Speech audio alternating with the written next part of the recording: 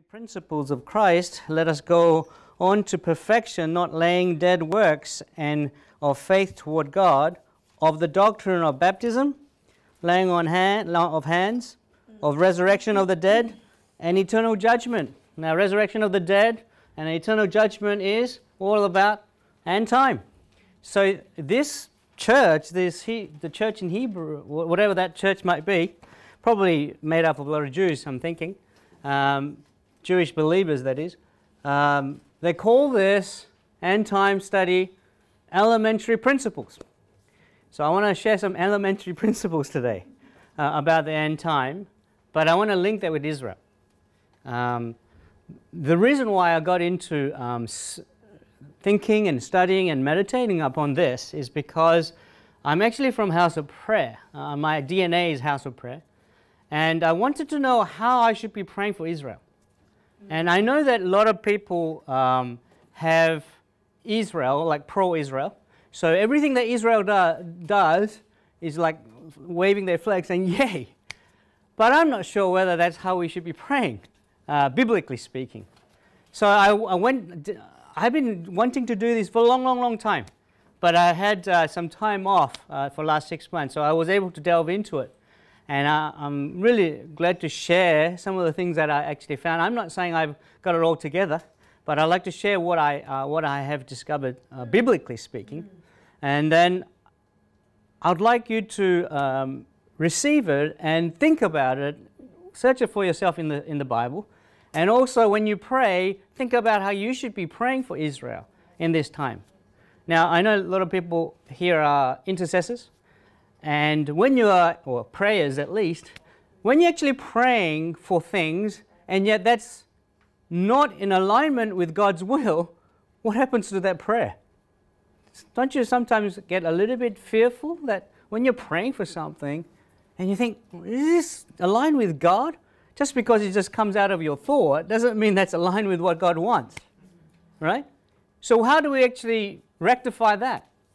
The best way to do that is if you find it in Scripture, contextually right, okay, not just any one word or something like that, but contextually right in alignment with plan of God and the prophecies of God or the promises of God, then you are 100% it. You can rely uh, on God that that will be fulfilled. Whether it will be soon or later, it will be. So what you want to do is, if you want to pray for Israel, for example, is that you want to find exactly uh, how God sees the plan of God and the fulfillment of his prophecies for Israel. If you pray that, then you, you know you're in agreement with God. Would you agree with that? Yeah. So what I, that's what I wanted to do. Well, not for myself first, and then you. Jews first? No, no. I'm not a Jew. Okay, Jews first and Gentile. But no, it's me, me, because I wanted to. I want to pray right before the Lord in agreement with God, and then I want to share that with you today.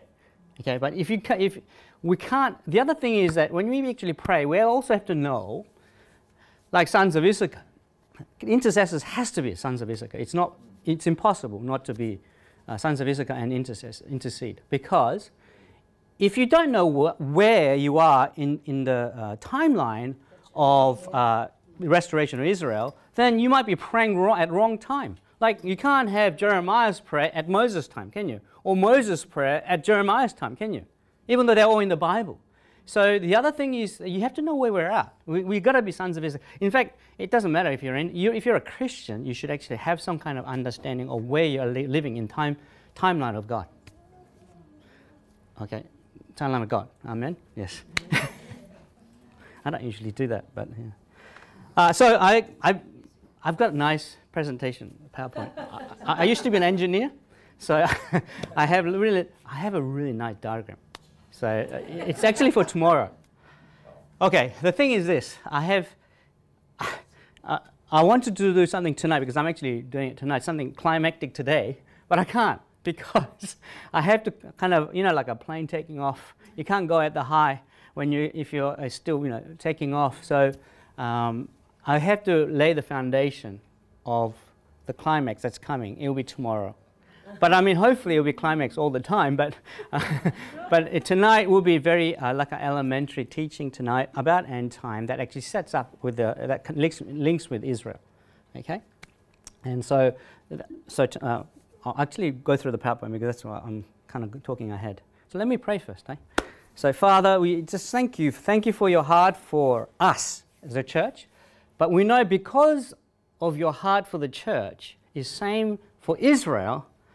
Father, we want to know your desired heart and, and the spiritual understanding of how you want to, want to pan out the plan of God. We want to also know the heart of God towards Israel. So we can't, we, we, you said, Lord, the worship, true worshippers cannot worship without spirit and truth.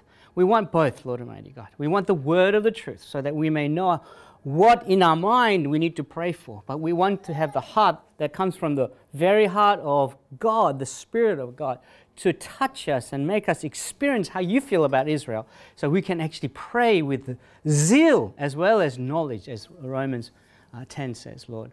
So, Father, we, we, we, give, we give you thanks tonight for the revelation that is going to uh, come from the Holy Spirit through my mouth in the Word so that people may know uh, you first, but also your desire for Israel.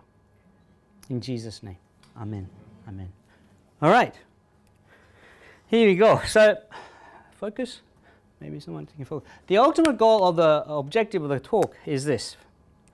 Firstly, to be able to pray for Israel with the right biblical knowledge. Okay, this is the objective that I want to get to at the end. In agreement with his promises, plans, and prophecies. Okay? Because we want to know the biblical knowledge of what uh, God says about Israel so that we can have agreement with him, as I said before. And secondly, with the heart of God for Israel for his glory. And the reason why I say that is because I think a lot of people, rather than glorifying God when they pray for Israel, they glorify Israel. I mean, it, there's a lot of things, not just for Israel, but many things like that. Do you know? Yeah. I'm a teacher. So, look, I just I, I had a thought before. So, so this is us, all right? And this is God. And if this is Israel, right?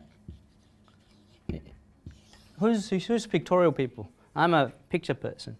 So when we actually see Israel, right, that's, okay? We need to see the way God sees it. Right? And the way He sees it is through the Word of God. Would you agree? So we have two choices. We can actually look at Israel through the Word of God or through our own way. Yeah? Our, our desire, let's call it. Someone prayed about that today. There's two ways to look at it. All right? But God always looks at uh, Israel through his plans and prophecies in the Word of God. But we need to do the same. Now, if we do it through the Word of God, we glorify God. But if we do it through our desire, do you know what God becomes? He becomes our tool, He becomes our means. It happens all the time in the prayer.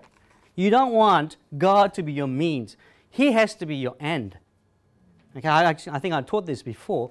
But if, if we have Israel, if we glorify Israel, then God becomes the means, just a tool in our belt then you're going to make a disastrous, uh, you're going to have a problem, basically. so that was the glory of God, right? so for the glory of God. So we don't use God as a means. We use Him as, He's the end. You know, we pray for Israel for the glory of God, not glory of Israel. We've got, really got to be very careful. And, and thirdly, with a fitting posture and positioning of intercession what is the right posture we've got to have as an intercessor? That is really important. And uh, knowing, and that will require knowing the time and season that we're living in and so on.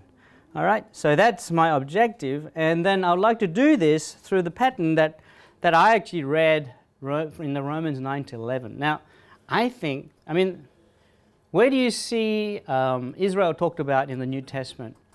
The greatest portion, I, I don't know whether, maybe the only portion that is, is in the Romans 9 to 11, right? So that is, if you read that carefully, you can pray a lot from there. Romans 9 to 11 is probably the best New Testament pattern to pray for Israel. Mm. So if you actually uh, understand Romans 9 to 11, in fact, if anybody comes later on, I have kind of an outline of Romans 9 to 11. I can dish that out to another time. But um, so really, Romans 9 to 11 pattern that I actually use to uh, structure the uh, talk today uh, and, to, and next two days. So understanding what Bible says about Israel's restoration, so like what we talked about before. So that it says in Romans 10, 2 and 11, 25, For I bear them witness that they have a zeal for God, but not according to the knowledge, according to knowledge. Who is he talking about? They is Israel. Israel is saying they actually have zeal for the Lord, but they don't have the knowledge, so they can't be saved. That's a huge thing if you don't know them. I'm not saying knowledge is everything. I'm not talking about intellectual knowledge is everything. In fact, uh, intellectual knowledge itself alone is not going to do either. But what I am saying, is if we don't have the true knowledge of God, then we, we, if we don't know the truth, then we can't be set free, as it say, right? So the second one is this: For I do not desire, and Paul is uh, speaking to the Roman church. He says, "For I do not desire, brethren, that you should be you should be ignorant of this mystery. So I don't want you to be ignorant about the mystery of Israel. Otherwise, you, you won't be able to pray for them, and you won't know what, how that Israel fits in. So you've got to have understanding and knowledge as well. My wife is sitting there, and she just reminded me that she didn't, but I'm reminded of, for me to speak slowly. okay, speak slowly, Steve. All right, good. Secondly, receiving the heart and if you talk about heart, you've got to talk about emotions of God. And I, I know I got this from Mike Bickle, obviously, but emo, emotions of God is so important. How He feels about you, how He feels about your wife and your children or your husband, extremely in the same way. How you feel about Israel, how God feels about Israel, if you actually receive that, you are able to pray in the same emotion with, with God if you want this slide, I'll give it to you, send it to you, all right? So you can have it. Mm. Um, so you don't need to write it all down. Don't take photos. I can give me your email. I'll send it to you. It's all yours, free. Like Mike Bickle, you know, my copyright is right to copy. Okay. Yeah. Yeah.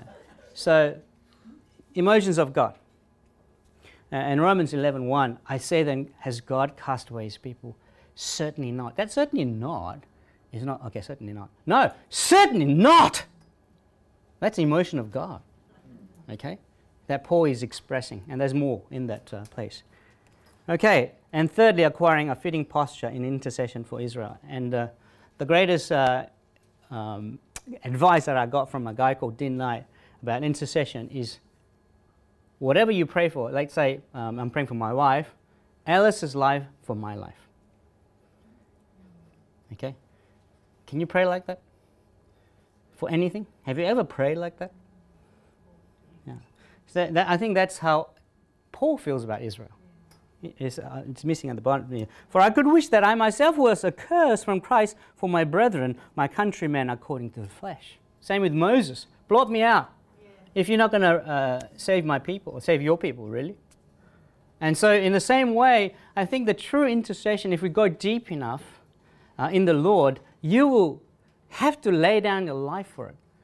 Right? And I, I kept on saying that the greatest intercession is not prayer. Intercession is not all about prayer. What is it? Greatest intercession is the cross. Jesus didn't pray the cross, He lived the cross and He died on the cross. That's the greatest intercession. So the true intercession has to die for you to die. Unless a, a seed falls and dies, you cannot produce more.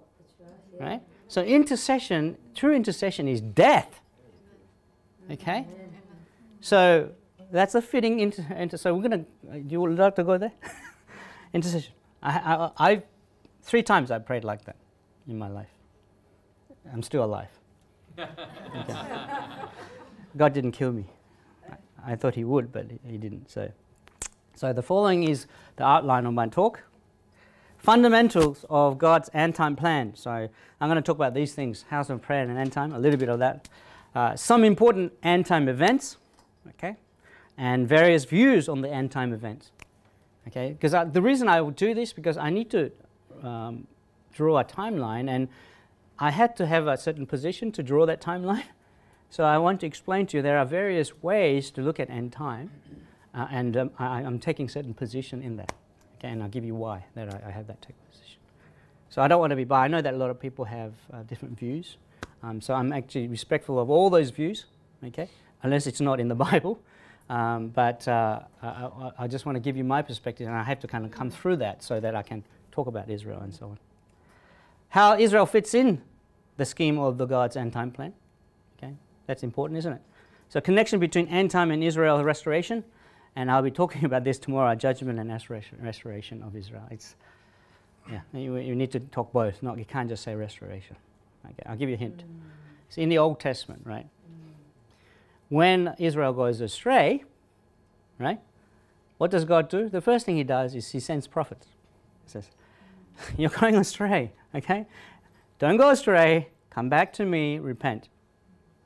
And He, he does it often and, and continuously. And then He says, If you don't do this, what, what does He do? He brings judgment on Israel, right? And then He says, He talks about restoration. Okay? He doesn't bypass judgment. You will see. It's a pattern, continuous pattern in Old Testament. Now, this is the this is the thing. Israel now, are they God fearing nation? Not all of them. Not all of them. So there you go, there's a bit of a hint. All right, acquiring a fitting posture to intercede. Okay, I'll go back and just say, so how is God going to restore Israel? Okay, that's the question. And that's what I want to talk about tomorrow morning. Okay. Acquiring a fitting posture for inter- uh, to intercede for Israel, meditating on how God feels about Israel, how important is Israel to God, and hence to me. Okay? So at the end, to be on Israel's side means to be on God's side. That's how it works. All right? So, all right, let's go into the talk introduction. Do you like the picture? I always put a picture. I always put pictures just to give you. It's important, isn't it? Where you actually turn the light on there. Introduction. End time. Okay. Let's talk from, uh, from the house of prayer point of view. Two biblical or theological pillars of house of prayer is intimacy and end time. Do you know? Intimacy is all about first commandment, and end time is about return of Jesus. And I want to define what eschatology or end time study is. So, intimacy is about first commandment, and I believe house is one of the primary reason, maybe the primary reason uh, for house of prayer, God raising up house of prayer, is to restore first commandment in the first place in the churches. That's how I see it. Okay? Lifestyle house of prayer is about doing what, what we talk about today, ministering to the Lord, which is the first commandment. Okay? That needs to be restored in the churches. Why? Because Jesus is coming back soon. And he's coming back as judge, king, and a bride, and the bride. And if he's coming as the bride, then the bride, no, sorry, not, sorry, bridegroom, slow down, slow down. If he's coming back as the bridegroom, if I had a drink coffee, I'm going to not sleep tonight. And I'll miss the tomorrow session. Yeah, so if he's coming back as the bridegroom, the bridegroom, then we need to prepare ourselves as bride. And what is the primary objective of the bride? to fall in love with the bridegroom. And therefore, the first command must be restored for Jesus to be returning. Does that make sense? That's the first commandment that has to be restored in the first place in the church. And that is why God is raising up many, many houses of prayer. And many, in fact, houses of prayer need to do that, apart from everything else. And people say, oh, what about intercession? Well, international intercession must come from intimacy. Okay? You must. It, it has to be. Okay, even though you might not think, have I been intimacy? If you're an intercessor, then you already have. Probably you're very close to the Lord, and you're hearing Him, not to hearing Him, but he, feeling the heart of God. Okay, so, and, and the end time is just about Jesus returning, and those people who are intimate with Jesus said, "Come, please, quickly." Spirit and the bride said, "Come, quickly." You know, Song of Songs ends in the end with that. Spirit and, and, the, and the bride said, Come. Song of Song ends like that, you know? Mm-hmm. And so, the return of Jesus and all about return of Jesus is the end time study, and I'll, I'll, explain that a bit more. So, those two are the two pillars of house of prayer. That's what we do. And the reason why we want Jesus to come back, the way we want Jesus to come back as a house of prayer is to pray. Lord, accomplish this, accomplish this, Great Commission, whatever, restore the church, restore Israel, and so on. We pray these things so that Jesus will come quickly, hastily. And that's the, the work of the house of prayer. Yeah? Do people Do you, I mean, I know that some people, uh, not in this room, but some people think House of Prayer, International House of Prayer, and so on, are like heresy and all that stuff. I mean, how can this be heresy? What I just described to you. Do you know? So, anyway, that's my two cents worth of a House of Prayer advertisement. so, come to Lions Roar House of Prayer, please. so, are we two related? All right, here we go. So, two I just want to explain eschatology or, or the end time study. So, I want to uh, give you two comings of Jesus. So, first coming uh, in Galatians 4 4 says, 4, 4, 4 says this. Slow down. Alice says. but when the fullness of the time, time, or this time is chronos in Greek, period of time, had come, God sent forth his Son, born of woman, a woman, born under the law, to redeem those who are under the law, that we might receive the adoption as sons. Which, which coming is this? The First one or second coming? It's the first coming, right? So, first coming, did you, you know, like, you know, conversation between father and son, saying, "Oh, I think it's about time I went." God, what do you reckon? Today? Do you reckon today is a good day? Do you think that happened or something else happened? There was a plan, a time. So what this means is when the fullness of time, when when the the time became full, that's what it means, chronos, the actual period of time, the duration of time. And when it became full, that's when Jesus came. So the first coming wasn't like random time. It was certain time that God has planned in that fullness of time. Do you think second coming is a bit like that? Mm. Yeah, I'll give you a verse for that. So second coming in Ephesians 1:10. Ephesians, great book, unbelievable book probably one of the best books for a uh, mystery of the gospel and Christ and even Jews and Gentiles, church and stuff. Okay, so let me read that. It's a, Ephesians 1 is like one long sentence, about 10 verses, uh, in Greek if you read it. So, in him we have redemption through his blood, the forgiveness of sins, according to the riches of his grace, which he made to abound towards us in all wisdom and prudence, having made known to us the mystery of his will. Do you know what this means? He talks about mystery of Christ and mystery of gospel in chapter 2 and 3. Yeah? And that, what that means is that, very easily, mystery, when he talks about mystery in the Bible, and that doesn't come out very often in the New Testament, it means what is, revealed, uh, what is hidden in the Old Testament has been revealed in the New Testament. That's all it means. Okay? So mystery means what? Old Testament that was hidden, which people didn't know, know about in Old Testament, that has been revealed in New Testament, so people now, when you read New Testament, understand what happened, happened what they were talking about in Old Testament. So mystery of Christ means that uh, the Christ came, and it was a kind of a very big surprise for Jews. I'm actually digressing. Can I? Yeah, yeah, yeah. Okay. Well, thanks, mate. I have his approval, Glenn. All right. A little bit. A little bit. So when Jesus came, Jews were surprised because they were expecting a Messiah who is going to crush all the enemies of Jews and bring Jews up as the top of the world, and he was going to rule from Jerusalem. But when Jesus came, he was not doing that. So they were shocked. How can I believe this Messiah? All he's doing is fixing people up, you know, and, and preaching this gospel thing. And they had never heard of this. And he dies on the cross. So everybody scatters, right? So that's the Messiah, and that's the mystery because they actually thought as soon as Jesus comes, the Messianic kingdom will start. Mm. But it didn't it had a time period where there's a so called church age. And then later on, Messiah will come and he will set up the Messianic kingdom. The New Testament for Messianic kingdom is millennium kingdom. That's how it fits. Does it make sense? Ah, good. I'll give you that chart later on as well. So let me just keep on going. According to his good pleasure, which he purposed in himself, that in the dispensation, this is a really hard word. What dispensation? it's kind of plan, okay? It's, sometimes they call it fellowship, but really it's more plan. Dispensation of the fullness or completeness of the times. It's plural. And this is not chronos, this is kairos. And kairos is more like uh, times, seasons, or even events. So, in other words, this what is uh, he might that he might gather together in one in all things in Christ, both which are in heaven and which are on earth, in Him. So, what is this? When certain time in the, in the future, there will be a time when God will put everything in heaven and earth together under Christ. When will that be? When he returns. Yeah? This is second coming.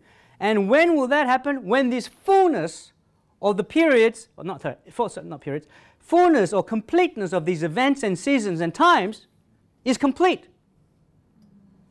fulfilled. So these certain events needs to happen before Jesus comes. Does that make sense? And this is what end time study is. So let me summarize, summarize that. Eschatology or the end time study is all about studying the events, times, and seasons centered around the second coming of our Lord Jesus Christ and how he will finally and fully restore his kingdom. That's what eschatology is. Okay? Should we know that? Yes. Or would you like to know that? Yes. Well, then study it. Read the book of Revelation. Don't just, please don't rely on teachers and, you know, like, yes, to get some ideas. If you want to study end time, read the Bible. Okay? And the teachers, like Glenn and other people, will come and help you to understand them. But you will not be able to understand and actually have, have it for yourself unless you actually do it yourself, if you don't study it. And I always say that. When I preach, okay, I'm, I'm speaking out of my first-hand experience, either encountering God or, or through the Word. But when you hear it, you will hear it second time, and it's a second-hand message. Unless you yourself go home and pray and seek the Word, then it will not be your message, it's my message. Don't, don't think just because you heard John Piper's and Mike Bickle's and Bill Johnson, whatever it is that you just heard it, just because you hear them, doesn't mean that's your message. That's, that's not, that's not yours. So that's why I prayed, like, like when Glenn was praying this morning. Raise up these people who actually will be in Matthew 6 6. Matthew 6 is the one, when you pray, going to the locked door, behind the locked door, going to the room by yourself, turn off your iPhone, everything else, and just seek the Lord with a word in prayer and He will reward you. His reward is Himself. He will bring revelation of who He is to you. And that is the greatest revelation that you'll ever have. Okay? And He will tell you things if you actually open up the Word and ask Him things. The same Holy Spirit who actually wrote the Word is in you, and He will reveal things to you if you are persevering in it. Okay? It's not an instantaneous like what we talk about microwaves and all that stuff. All right. So, what are some important uh, end time events? End time events? Some of the end, uh, important end time events? Rapture? Oh, yeah, yeah. So, oh, yeah, well, let's uh, talk about the big pictures. Rapture. What's rapture? Christians being taken up. Mm-hmm. Yeah. Is, is rapture and the second coming the same? No. They're not. Okay, so you need to distinguish that, okay? I'll, we'll talk about more about it as we go. Second coming of Jesus, of course, very important. Millennium Kingdom is another big reference point, really.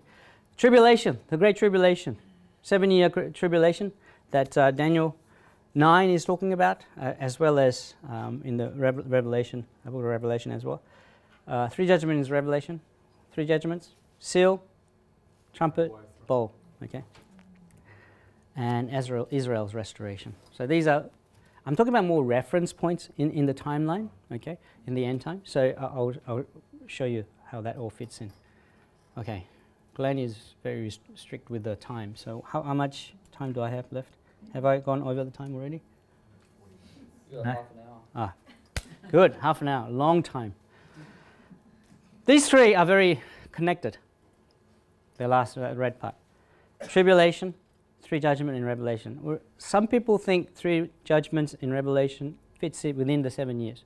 Some people think it's a bit more than that before. So it just depends on the uh, things and uh, Israel restoration. Of course, it's important because Israel's restoration means beginning of the millennium kingdom, mm. okay, or messianic kingdom, okay, and messianic kingdom or Israel's restoration won't happen until second coming because unless the the Israelite says, "Blessed is the name of the Lord," blessed is the Lord who comes in the name of the Lord. If that until that happens, it's not going to happen. Okay? And rapture is for the church. So, so uh, let me just uh, give you some interpretation. So, two major factors um, for different interpretations deriving from the, the, two essential points is this. Uh, well, so two important, pa- sorry, two points that actually determines how you view the end time. The first one is how we view Israel from the New Testament perspective. Okay, I'm going to talk more about that a bit later on.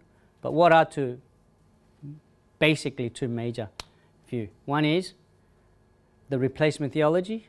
Yeah, what's that? It means the church replaces Israel. Yeah, everything that in the Old Testament promises to Israel has now become the churches. Mm. You try to interpret Old Testament like that, it's extremely hard. yeah. And the other one is taking it uh, as uh, Israel's restoration. Okay, second one is how we read the book of Revelation. Okay, that, that actually determines how you're going to view um, uh, the end timeline. So, there two. What is it? Basically, symbolically or literally. Okay, if you read, you can read Book of Revelation symbolically. As I said, as I'm, I'm not uh, criticizing people who actually do it one way or another. I'm just saying there are two views. You either take it symbolically or you can take it literally. Um, I went to a theological college is very, which is very conservative. Have you heard of Moore Theological College in Sydney? So I am like Anglican background, conservative, evangelical, Calvinistic, never talk about Holy Spirit. Uh, that's why I'm doing House of Prayer, you see. and, end time. How, we talk about end time, but the a, millennium take uh, Revelation as symbolic and so on.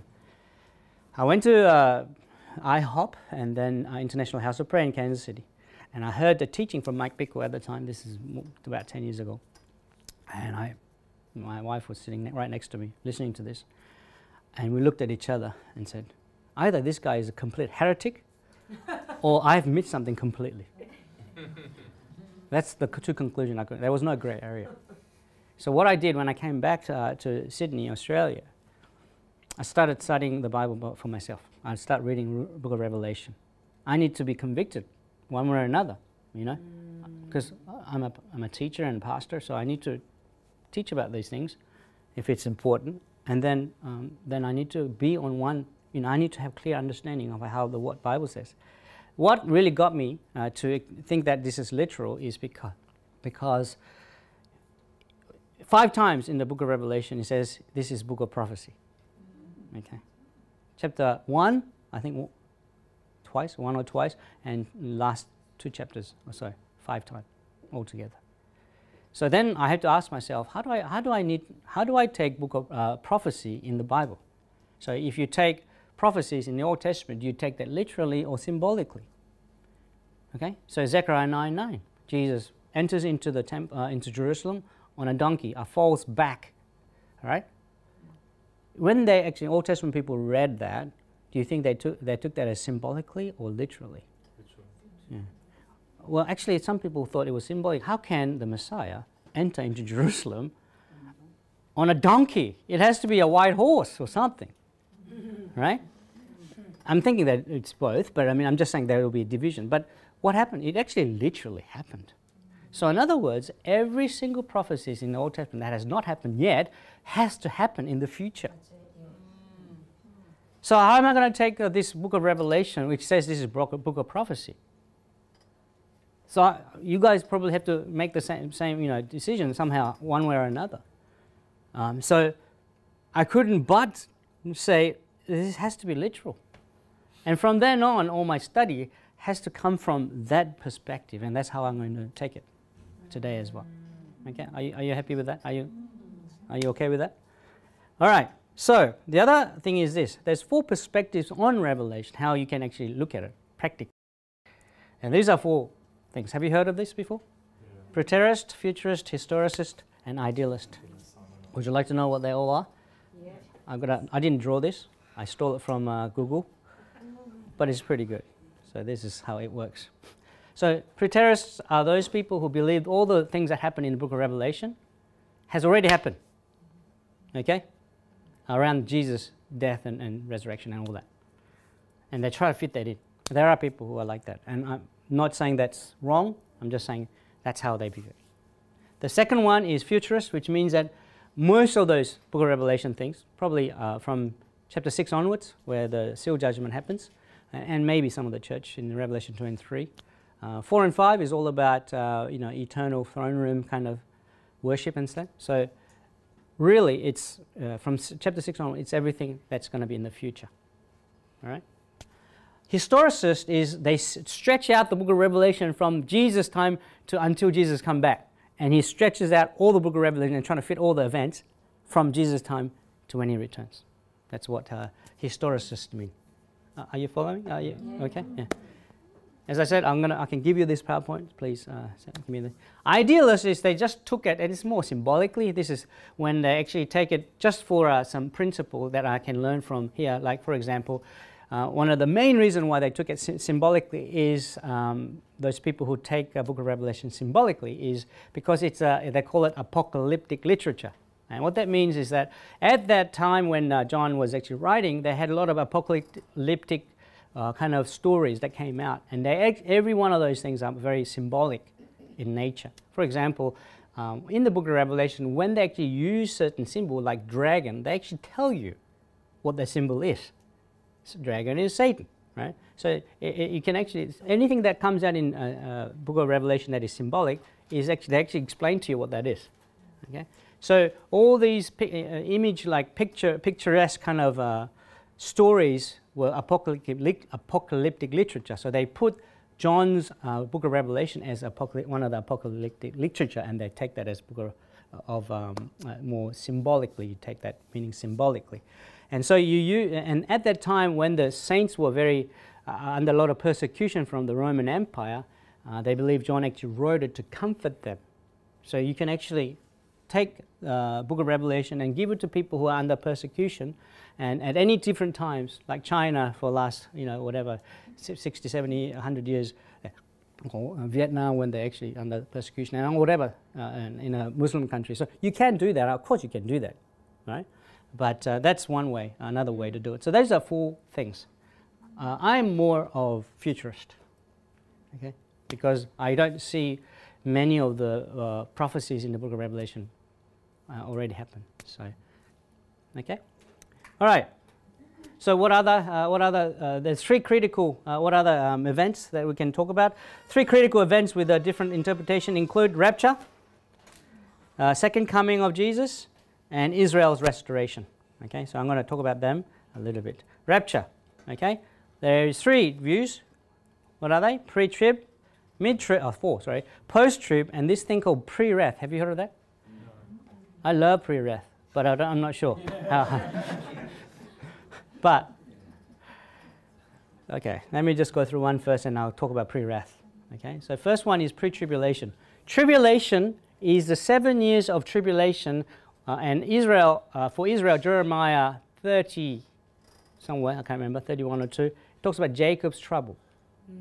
Okay, that's that uh, seven-year tribulation, and that seven year comes from uh, um, Daniel uh, 9:27. Okay, and when he talks about the 70th week.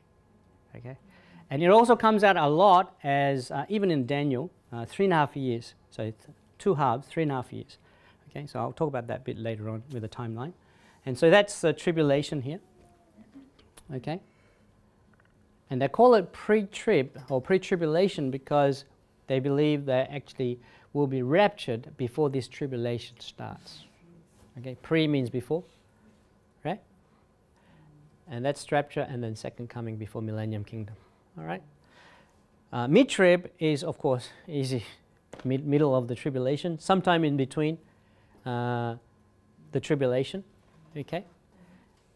Third one, which you can't see, I'm hesitating to see. Post trib is after. So tribulation here, and then rapture is at the same time as the second coming. Okay? Now, pre wrath is very similar to mid trib, but it's this. Uh, we will be raptured before the wrath of God is released. I like that because I think it's quite biblical. Um, because who took the wrath of God for us? Jesus. So, really, we shouldn't receive the wrath of God, whether it's end time or not. Does that make sense? So, I certainly know that we will not be uh, here, uh, we meaning the believers, the true believers of Jesus, the disciples of Jesus, will not be in bowl judgment. Bowl judgment. Because bowl judgment is for the Antichrist uh, kingdom, and it is. It says it, this is wrath of God. This is when the wrath of God. Uh, now, a- apart from that, it becomes a little bit uh, kind of not sure where exactly. Um, there's another clue after on the sixth seal, okay, in chapter six of Book of Revelation. It actually talks about um, the people, the kings, and so on. People say, "Oh, the rocks fall on us. We want to die, basically, fall on us, because the wrath of the Lamb of God and of God, of God, of God, is is about to come." Okay, so some people believe that we will be raptured just around that time, so around six seal. Okay, but some some people actually believe the whole tribulation, seven years tribulation, is the wrath of God and therefore pre-trib. So I am kind of from pre-trib to wherever the wrath of God begins. I don't know where. So I'm around there. Okay, I I, I love pre-trib. Okay, pre-trib's great, and there are there are uh, some evidence for that. There really are. Okay, I can give you some verses. You can talk to me about it, but uh, later on. But th- there is evidence for pre-trib, but certainly I reckon it's pre-wrath. Okay, so it, does it help? Is this helping you guys to understand a bit more? Um, you want to get to the exciting bit, hey? Rapture, the second coming. So second coming is about pre-meal, post-meal, and amill, and I have another picture for that, which is easy. So pre-millennium uh, is that's the first coming, and then Jesus comes, and then he sets up a thousand years of reign, millennium. So it's actually Jesus coming before millennium, pre-meal. Okay. Post-meal is when Jesus firstly comes, but we actually set up thousand years of reign, and then Jesus comes, and there will be a final judgment, like white throne judgment, for example. All right. Yeah. Yeah. There are people who take that. They don't actually call it post-meal, but uh, there's other kind of, I think, things like over-realized eschatology is related to all that stuff. Amiel is, as I said, where I was before. Uh, Millennium Kingdom is not literal thousand years, and therefore uh, we are in Millennium Kingdom because Jesus reigns from heaven, and we are His saints. So another the kingdom of God has come, hasn't He? Hasn't it? Right? But not yet fully. So that Millennium Kingdom is not a thousand literal years, but it's just the reign of Jesus, and then Jesus will come. So those are the three different things. Okay, you can actually look at them when I actually send you the PowerPoint if you actually uh, study them better. Okay, lastly, Israel's restoration. Wow, I'm going really quick. All right, Israel's restoration. There's a few views on that. Do you know that? Okay, firstly, uh, I talked about this before. Church is the restoration of Israel. In other words, replacement theology. We talked about it already. The second one is there are people who actually believe in literal restoration of Israel. Okay, they do, but they don't think the present worldwide gathering is it. So they don't think this is the worldwide gathering that God is actually um, uh, going to use to actually restore, restore Israel. Okay, the reason why they say that is because in the Bible, mostly it says the national salvation has, happens before the restoration of the land happens. Okay? What it means is that Israel will really literally believe in God and believe in the Messiah, and they actually worship God, and then the land will be restored. And there are verses there you can have a look at in that. But that actually is, that's how I think it is. Okay? That's how it works. So, um, and this is, I'm, I'm not saying this, I'm actually with a view, view B, but I have another one there. The third one is this the present worldwide gathering is the restoration of Israel because the tribulation has already happened. Things like Holocaust and including those things. So this is the final restoration of Israel. So we pray. It's like for Psalm 122. What's Psalm 122? Pray for peace of Jerusalem because you'll be prosperous. Do you know what Psalm 122 is all about? It's house of the Lord. Okay, house of the Lord. Why do you pray for peace in Jerusalem? Because house of God is there. Okay? It's a dwelling place of God. Is Jerusalem like that at the moment? Hmm. Okay. So, so fourth thing is my talk.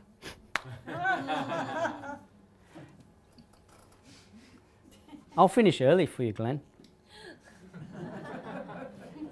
So it- today is more of a teaching to uh, the background of things, and uh, so I'll give you the diagram. This is it. But This is the second one. The first, the other one that I'm going to show you tomorrow, is the it. Okay. So that's the timeline I have, and that's uh, Israel, initially the Old Testament Israel kind of time period, and you have church age, and then you have seven years, Jacob trouble or tribulation, and then you have millennium kingdom, and then you have New Jerusalem. Okay, that's just straightforward in the Bible. Uh, I, I re- I'll put a gap there because I'm an engineer, I'm a scientist, so they're not in proportion timeline. so I put a gap if you, people understand. Do you understand? You're an engineer? Yeah. so, first coming is right there, okay? And that's the second coming. He's going to come as a king and he's going to rule from there, right? Millennium kingdom.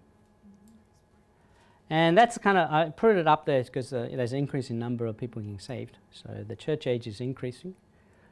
And there's rapture. Uh, Jesus will come in, in his cloud.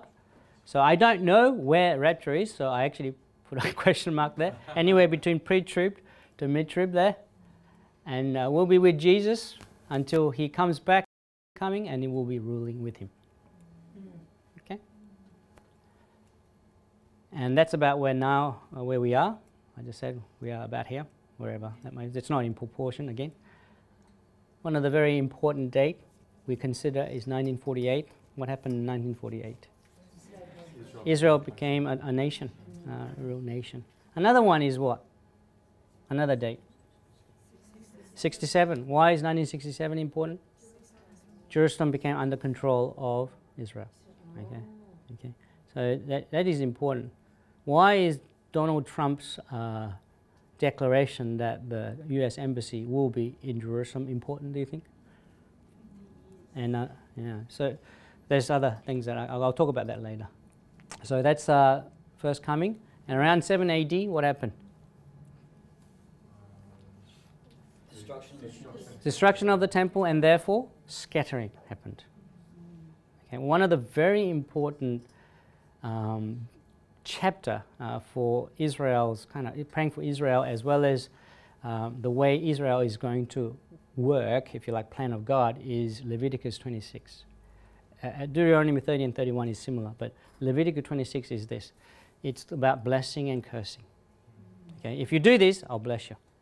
But in the cursing, he says this: if you don't do this, then I will punish you. Okay, and still, if you don't do this, I will give greater, give you greater punishment, like plagues and stuff like that. Then, if you don't do that, I'll do it seven times more, stronger. And if you do not do that, I'm going to do it seven times even more. And finally, what does he do? If you don't listen, I will scatter you. And that's why what, that's what happened. I'll scatter you all over the world. And then what it says, what it says is this: if you repent, if you repent, then I will restore you back. Okay? Is Israel repenting? Not as a nation. No. So, okay, there's another clue there. But who is, uh, who is one of the most important um, prayer who restored the second temple or the, return of Jerusalem after 70 uh, years of exile? Daniel. Daniel 9. Daniel 9, the 70th week uh, prophecy that was given by, angel, by the angel, right, was given straight after what? That prayer when he actually prayed for restoration of Jerusalem. He was reading Jeremiah, and they actually found out, well, he found out that after 70 years, years God's going to restore Jerusalem and the temple. So what does he do? He prays and intercedes exactly like Leviticus. So we did this, Lord. Me and my, fa- my forefathers, we did this. We repent. Leviticus, again, you actually said in the Word of God, and I think he's talking about Leviticus 20, you said, when this happens, you are going to scatter us. Exactly. We repent. Right? And then he, he actually interceded and said, Lord, have mercy. In your right, in your in, in your in your wrath, have mercy and restore your people, your city, your nation. Restoration Israel. Okay. Daniel's nine. Daniel nine is one of the greatest prayer in the Bible, intercession, and it's straight out of the Word of God. He just repeated. He agreed with God. He said, "Yes, you did right, Lord. You were right about this. You were right about this." And we actually, you said to repent, so I'm actually going to repent, and please, Lord, restore. Intercession is all about agreeing with what God says. Repenting is agreement at the end. Okay? So 70 AD, they scattered because they basically rejected the Messiah that they've been waiting for. Okay? And so there's a scattering there. scattering. Are you liking my picture? It took me ages to draw this. You'll see, you see the next, next one. So 1948, the land got restored to Israel. Uh, and uh, we're about here. So from then onwards, there has been what? Gathering, hasn't it? Back to the land. Right? So they're now gathering. So a lot of people take that as restoration of Israel. But look at it. Look at where we're heading. What's that? We're actually heading for Jacob's trouble. Mm. Well, not we, but Israel. The next event that happens in Israel is Jacob's trouble. When is this going to be restored? So, how should we be praying? And that was my problem. How do, how do we need to, how can, how can we pray for them now? You know? Because Messianic kingdom, millennium kingdom is there. So, between the gathering now that's happening in Israel and the millennium kingdom or messianic kingdom, there's a huge bridge called tribulation, Jacob's trouble. What do we do? So we're heading Jacob's trouble. Okay? That's kind of end of my talk, but uh, I'll continue on. And the, the tomorrow, it's like preview for the next, isn't it? Like trailer for the movie. That's, that's why I put it. So tomorrow, what I'm going to do is I'm going to highlight here, just there, what's going to happen here. So tomorrow, what time am I speaking? Tomorrow, second or first or something like that? Yeah, a, uh, I think you're first up. Yeah. So, so um, what time is that? Nine o'clock, nine thirty. Yeah, something like that. So I'll be highlighting that, and I want to give you uh, what I see in the Bible. Second. Second up, sorry. So you can sleep in a little bit more. So, so that's where I'm going to highlight, and I'm going to uh, give you as much biblical understanding to what actually happened, especially here, so that we can actually start understanding how God's going to restore uh, Israel, and therefore that will give us uh, good knowledge, the biblical understanding, and hopefully also the heart of God to pray for Israel. And I think we really need to, as House of Prayer, uh, prayer to pray for uh, Israel biblically and rightly in agreement with what God actually has planned for him for them. Right? Do you agree? So let's pray. And uh, whoa, finished early. So Heavenly Father, we thank you for your word. Father, I'm asking for spirit of revelation and wisdom to fall upon now upon everyone who heard the message today. Father, give them a heart to seek the truth in the Word of God. Give them this hunger and, and thirst for the Word of life, Word that actually brings truth that sets us free, free from um, ignorance, as Paul says, Lord. Sets us from just being zeal, zealous, and, and, and just enthusiastic for things. Father, we do need enthusiasm, we do need zeal, but Father, we also need zeal with a directed in a right way. So, Father, I'm asking for a spirit of wisdom and revelation so that people may know you in a deeper and a, a more revelatory way of your heart and your desire, not just for Israel, but for everything that is written in the Word of God. Father, I'm asking for peace tonight as people go home. Lord, let them be settled with God. Let them be uh, in agreement with you in everything that we have said today, uh, the Glenn, two Glens, and Amy, and all the people, Lord, that has prayed. Father, we want to go home with peace, settled, that your word of God will be fulfilled when we pray. And when the word of God will be exalted as we actually are, are in agreement with it, as we study it and seek it and meditate upon it. Father, we are, I'm asking for this spirit of wisdom and revelation. And more than anything else, Father, I'm asking for the revelation of who you are to each one of us, Lord.